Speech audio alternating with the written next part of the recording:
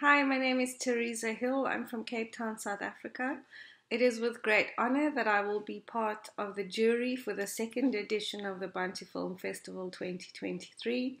I look forward to watching all the great submissions for this year's edition. Thank you.